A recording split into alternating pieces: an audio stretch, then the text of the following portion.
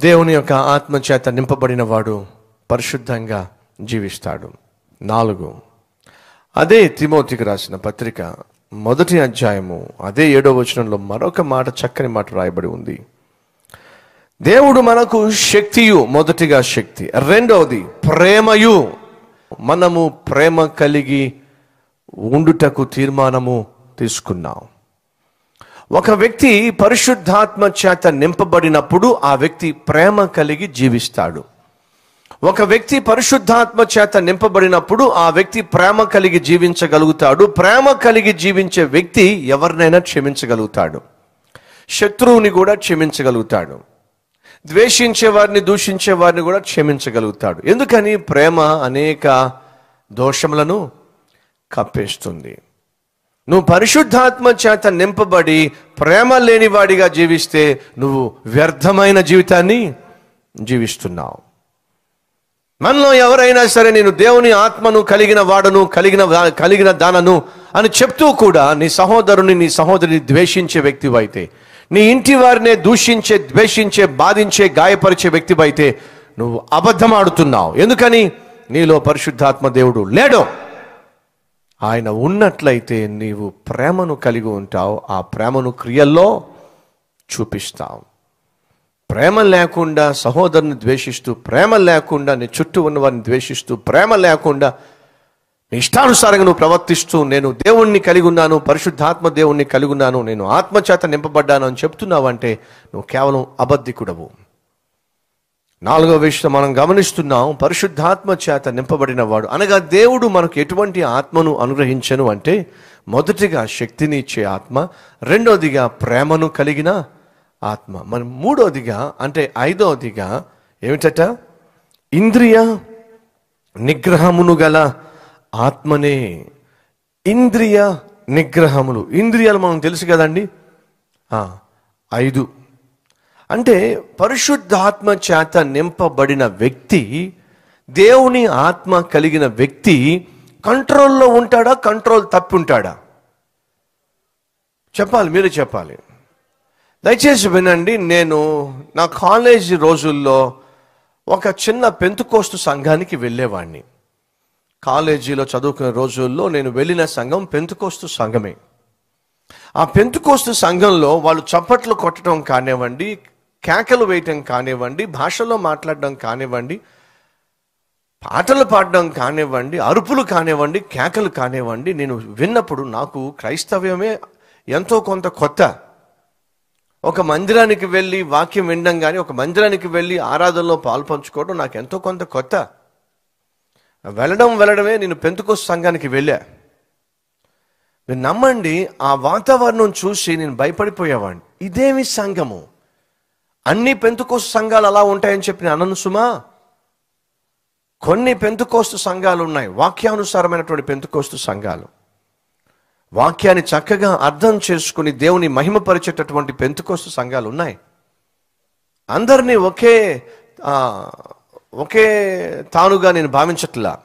నేను వెళ్ళిన సంఘం గురించి మాట్లాడుతున్నా. అయ్యో ఏమి గంతులు వేసేవాళ్ళు అరిచేవాళ్ళు కేకలు వేసేవాళ్ళు పిచ్చిగా చప్పట్లు గట్టి గట్టిగా కొట్టేసేవాళ్ళు. ఇవన్నీ చూసినప్పుడు నాకు ఆశ్చర్యం అనిపించేది అలాగే అభ్యంతరంగా ఉండేది. ఎందుకని? ఏమిటి కంట్రోల్ లేనటువంటి ఈ అరుపులు కేకలు? ఆ పాస్టర్ గారు అనేవారు నీకు తెలియదులే నాయన నీకు ఆత్మ లేదు కాబట్టి నువ్వు అర్థం చేసుకోలేకపోతున్నావు అని చెప్పేసి అర్థం లేకుండా పాపం ఆయన మాట్లాడేసేవాడు. ఈ రోజుల్లో కూడా ఆత్మతో ఆత్మ చేత పరిశుద్ధాత్మ చేత నింపబడ్డాము అని చెప్పి ఎలా పడితే అలా ప్రవర్తించేవాళ్ళు ఎలా పడితే అలా అరిచేవాళ్ళు ఎలా పడితే అలా గంతులు వేసేవాళ్ళు పిచ్చి పిచ్చిగా చప్పట్లు కొట్టేసేవాళ్ళు అలా చప్పట్లు కొట్టేస్తే అదుగో దేవుని ఆత్మ దిగి వచ్చేస్తుంది అని చెప్పి భ్రమలో జీవించేవాళ్ళు. ఎంతమంది లేరు? మన కలవరి టెంపుల్లో పిచ్చి పిచ్చిగా చప్పట్లు కొట్టడం లేదు కాబట్టి మన కలవరి టెంపుల్లో పిచ్చి పిచ్చిగా కేకలు వేయటం లేదు కాబట్టి మన కలవరి టెంపుల్లో పిచ్చి పిచ్చిగా గంతులు వేయటం లేదు కాబట్టి ఎలా పడితే అలా మాట్లాడలేదు కాబట్టి ఎంతోమంది అజ్ఞానులు అమాయకులు అనే మాట ఏమిటంటే కలవరి టెంపుల్ పరిశుద్ధాత్మ దేవుడే లేడు. అక్కడ పరిశుద్ధాత్మ దేవుడు మందిరంలో లేడు. నో! జాగ్రత్తగా వినండి. ఎక్కడ పరిశుద్ధాత్మ దేవుడు ఉంటాడో అక్కడ ఇంద్రియ నిగ్రహములు ఉంటాయి. కాబట్టి ఇంత డిసిప్లిన్గా మీరు కూర్చోగలిగారు. ఇంత చక్కగా వాక్యాన్ని వినగలుగుతున్నారు. పరిశుద్ధాత్మ చేత నింపబడిన వ్యక్తి తన కంట్రోల్లో ఉంటాడు. సహోదరా సహోదరి కంట్రోల్ తప్పుతున్నావా? ఆవేశ విషయంలో కంట్రోల్ తప్పుతున్నావా? కోపం విషయంలో కంట్రోల్ తప్పుతున్నావా? నోరు జారే విషయంలో కంట్రోల్ తప్పుతున్నావా? కొన్నిసార్లు చేయి కూడా జారుతుందా? కొన్నిసార్లు ఎలా పడితే అలా ప్రవర్తిస్తున్నావా? నీ చూపుల్లో కంట్రోల్ లేకుండా నీ వినికిడిలో కంట్రోల్ లేకుండా నీ మాట తీరులో కంట్రోల్ లేకుండా నీ ఆవేశ ఆగ్రహాల్లో కంట్రోల్ లేకుండా నువ్వు బిహేవ్ చేస్తున్నావా? అయితే జాగ్రత్తగా వినండి జాగ్రత్తగా వినండి. పరిశుద్ధాత్మ దేవుని చేత నింపబడిన వాడు లేదా? దేవుని ఆత్మ కలిగిన వ్యక్తి ఇంద్రియ నిగ్రహములు కలిగి ఉంటాడు. నేను మాట్లాడుతుంది స్వచ్ఛమైన వాక్యానుసారమైనటువంటి విషయము. సొంత ప్రసంగాలు ఏం చేయటల్లా? బైబిల్లో దేవుడు లిఖింప చేసిన దాన్నే మీతో పంచుకుంటున్నా. దేవుడు మనకు ఎటువంటి ఆత్మను అనుగ్రహించాడు? Self control. శరీరాన్ని మనకున్న సమస్తాన్ని ఆధీనములో ఉంచుకోగలిగినటువంటి ఆత్మను దేవుడు అనుగ్రహించాడు. కాబట్టి అడుగుతున్నా నీ జీవితంలో ఏదైనా కంట్రోల్ తప్పుతుందా? కంట్రోల్ లేకుండా బిహేవ్ చేస్తున్నావా? మా అబ్బాయి కంట్రోల్ లేకుండా మాట్లాడుతున్నాడండి. మా అమ్మాయి కంట్రోల్ లేకుండా మాట్లాడుతుందండి. మా ఆయన కంట్రోల్ లేకుండా కోపడుతున్నాడండి కంట్రోల్ లేకుండా ఆవేశపడిపోతున్నాడండి. మా ఆవిడ కంట్రోల్ లేకుండా ఆవేశపడిపోతుంది. జాగ్రత్త! నీ జీవితంలో కంట్రోల్ లేకుండా నువ్వు జీవిస్తున్నట్లయితే బహుశా నీవు పరిశుద్ధాత్మ దేవుని చేత నింపబడి నడిపించబడుతున్న వ్యక్తివి కాదేమో. ఒకవేళ నువ్వు పరిశుద్ధాత్మ దేవుని చేత నింపబడి నడిపించబడుతున్న వ్యక్తివైతే నువ్వు కంట్రోల్లో ఉంటావు. కంట్రోల్ తప్పి జీవిస్తున్నట్లయితే పరిశుద్ధాత్మ దేవుని ఆధీనంలో నువ్వు లేవు.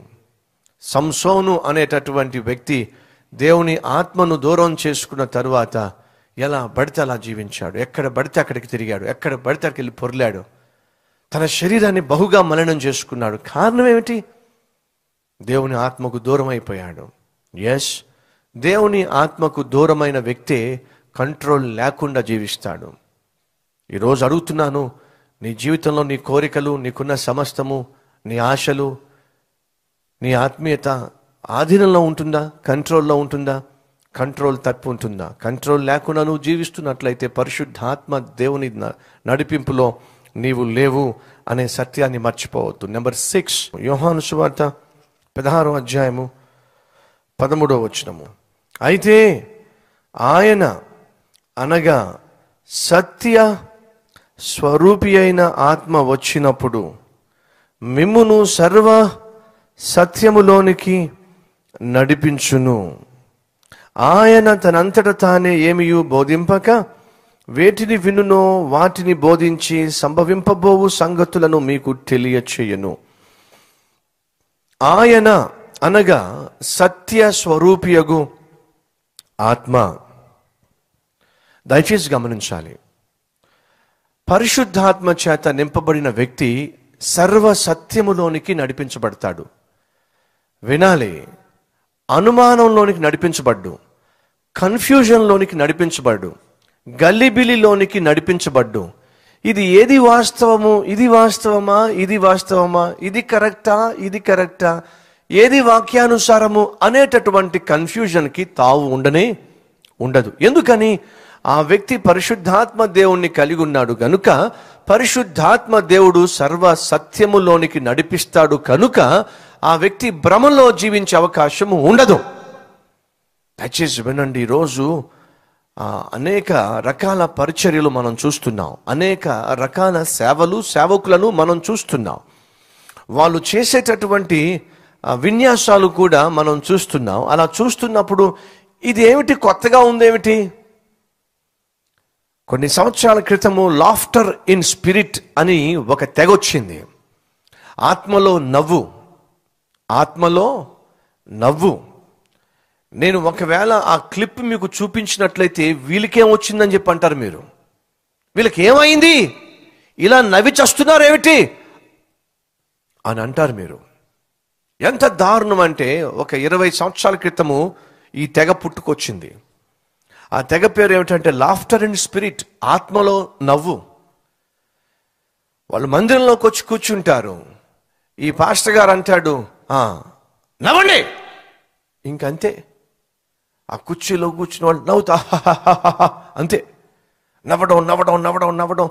కుర్చీలో కూర్చున్నవాడు కుర్చీలోంచి జారి కింద పడ్డం. జారి కింద పడినవాడు దొరలడం. జుట్టు ఊపుకుంటూ నవ్వేవాళ్ళు నవ్వడం. నేను అబద్ధం చెప్పటంలా. నిజం. నేను చెప్పేది చాలా తక్కువ. ఏమైతే చెప్తున్నానో అది చాలా తక్కువ. ఒకవేళ అది వీడియోలో మీరు చూస్తే మీరు మతిపోతుంది.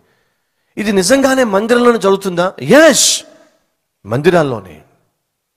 దయచేసి గమనించండి. అంచె దినాల్లో సైతాను ఎంతగా తెగబడతాడంటే ఏర్పరచబడిన వారిని సహితమో మోసం చేయడానికి సూచక క్రియలు జరిగిస్తాడు ఆశ్చర్య కార్యాలు జరిగిస్తాడు మనల్ని మభ్యపరచడానికి.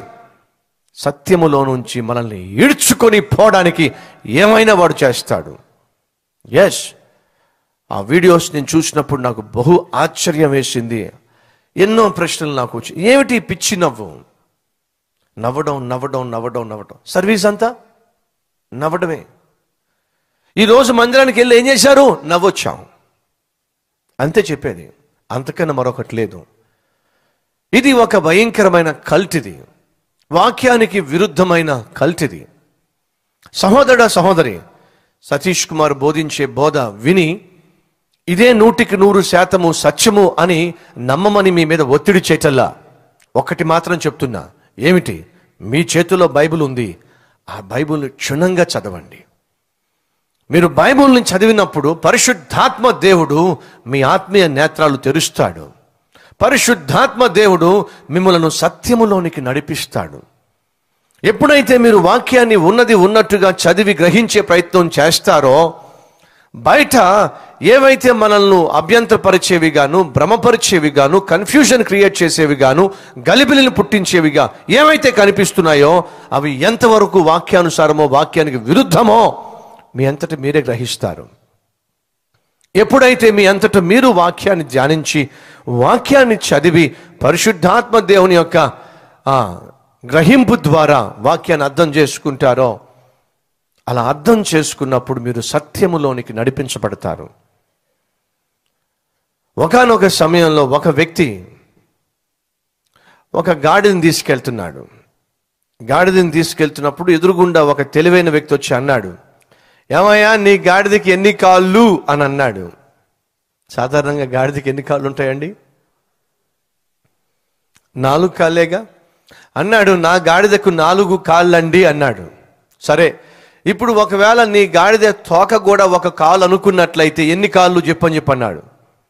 మీరు చెప్పండి. నా మాట మీకు అర్థమైందా? ఎన్ని కాళ్ళు నీ గాడిదకు? నాలుగు కాళ్ళు. ఒకవేళ నీ గాడిద తోకను కూడా ఒక కాలుగాను భావించి భావించినట్లయితే ఇప్పుడు ఎన్ని కాళ్ళు చెప్పాను అన్నాడు? మీరు చెప్పాలి ఎన్ని కాళ్ళు ఉన్నాయి? ఐదు కాళ్ళు. అదే అన్నాడు అతను. ఐదు కాళ్ళు అన్నాడు. అప్పుడు తెలివైన వ్యక్తి అంటున్నాడు పిచ్చోడా తోకను నువ్వు కాలుగా భావించినంత మాత్రాన తోక ఎప్పటికీ కూడా కాలు కాదురా బాబు. అది ఎప్పటికీ ఎన్ని కాళ్ళు కలిగి ఉంటుంది? నాలుగు కాళ్ళే కలిగి కలిగి ఉంటుంది నువ్వు తోకని కాలుగా భావించినంత మాత్రాన అనుకున్నంత మాత్రాన భ్రమించినంత మాత్రాన ఒక అవాస్తవం మాత్రం ఎప్పటికీ సత్యము వాస్తవము కానే కాదో. ఈరోజు మనుషులు తోకలను చూపించి కాళ్ళు కాళ్ళుగా భావించమంటున్నారు. తోకలను చూపించి అదే కాలో నమ్మండి అని మనుషుల మీద రుద్దేస్తున్నారు.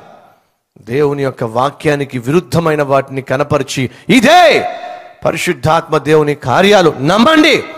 మనుషుల్ని మాయ చేసేస్తున్నారు. దయచేసి వినండి. మీరు వాక్యాన్ని చదవండి. వాక్యంలో ఏమైతే ఉన్నవో అవి ఉన్నవి. వాక్యములో ఏమైతే లేవో అవి లేవో. ఆనాడు పౌలు వాక్యం చెప్తున్నప్పుడు చూద్దాం రండి. అపోస్తుల కార్యములు. అపోస్తుల కార్యములు పదిహేడవ అధ్యాయము పది పదకొండు వచ్చినాలు వెంటనే సహోదరులు రాత్రివేళ పౌలును శీలను బెరయకు పంపించిరి. వారు వచ్చి యూదుల సమాజ మందిరములో ప్రవేశించిరి. వీరు అనగా బెరయ సంఘస్థులు. దశలోనికలో ఉన్న వారికంటే గనులై ఉండిరి గనుక ఆసక్తితో వాక్యమును అంగీకరించి పౌలును శీలయును చెప్పిన సంగతులు అలాగు ఉన్నవో లేవో అని ప్రతి దినము లేఖనములు పరిశోధించుచు వచ్చిరి. ప్రతి దినము ఏం చేశారట? లేఖనములను పరిశోధించిరి. ప్రతి దినము జాగ్రత్తగా పౌలు మాట్లాడుతున్నాడు శీలయు మాట్లాడుతున్నారు ఏమిటి వీళ్ళ బోధ? ఏమిటి వీడు తెలియజేసేది? అసలు లేఖనములలో ఉన్నట్టుగానే మాట్లాడుతున్నారా? వాక్యములో ఉన్న సత్యాలే మాట్లాడుతున్నారా? లేక కొత్త కొత్త సత్యాలు పుట్టిస్తున్నారా? పరిశుద్ధాత్మ దేవుని ద్వారానే వీళ్ళు జీవిస్తూ బోధిస్తూ సూచక క్రియలు చేస్తున్నారా? లేదా బ్రహ్మపరిచే ఆత్మ ద్వారా మనుషుల్ని మాయ చేస్తున్నారా? బహు జాగ్రత్తగా ప్రతి దినము వారు లేఖనములను పరిశీలిస్తూ వచ్చారు. సహోదరుడ సహోదరి అంచె దినాల్లో మనం జీవిస్తున్నాం. ఈ అంచె దినాల్లో అపాయకరమైనటువంటి రోజుల్లో మనం ఉన్నాం.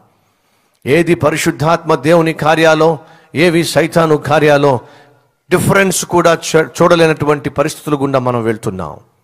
కాబట్టే చెప్తున్నా వాక్యాన్నే మనం ఆధారం చేసుకోవాలి.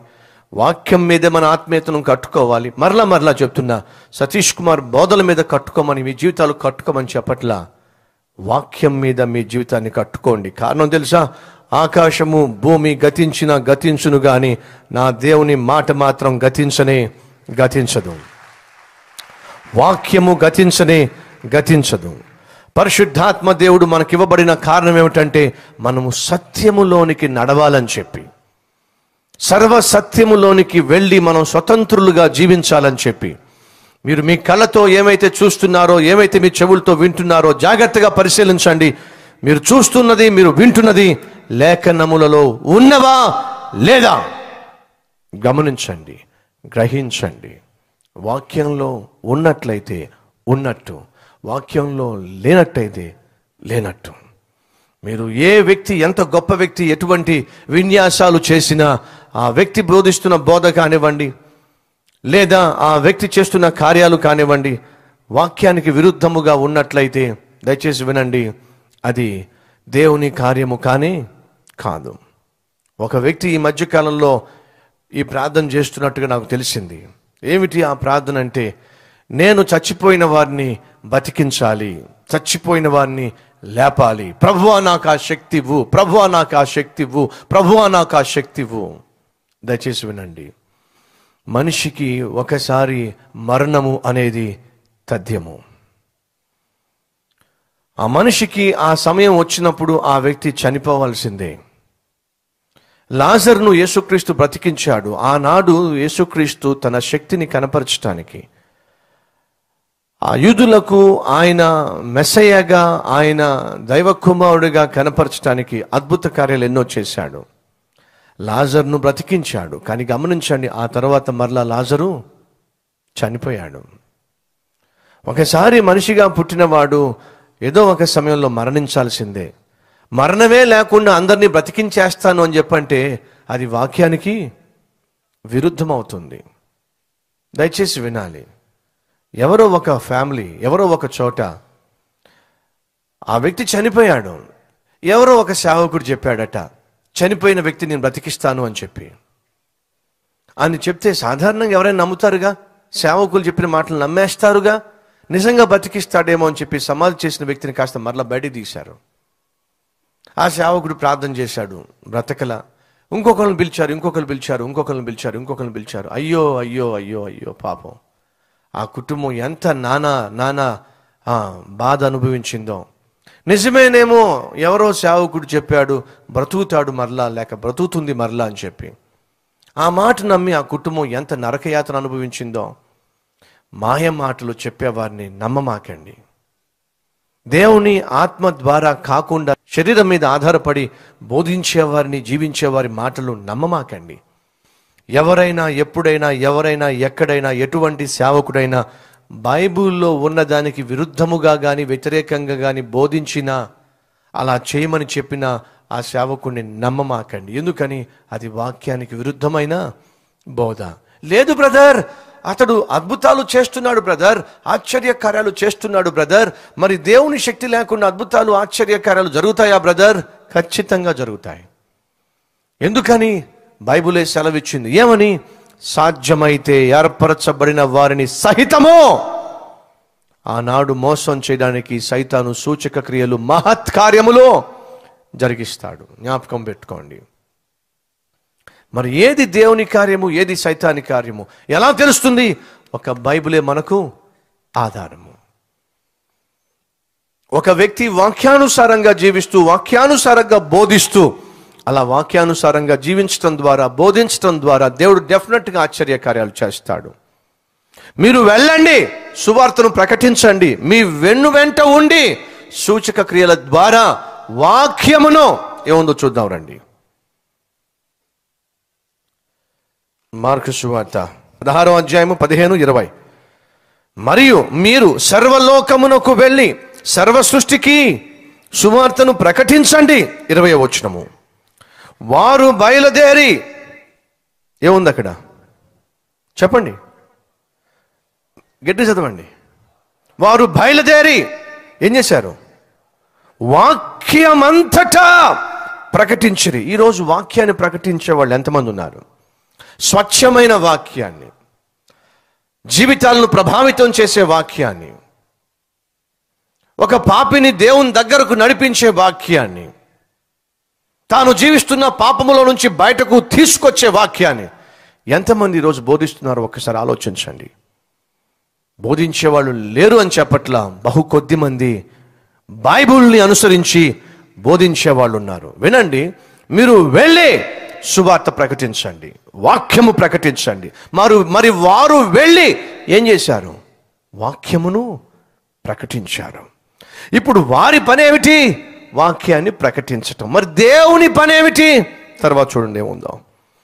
వారు బయలుదేరి వాక్యమంతటా ప్రకటించిరి. ప్రభువు వారికి సహకారుడై ఉండి వెనువెంట జరుగుచూ వచ్చిన సూచక క్రియల వలన ఏముంది అక్కడ? ఏముంది అక్కడ? వాక్యమును స్థిరపరచుచు ఉండెను.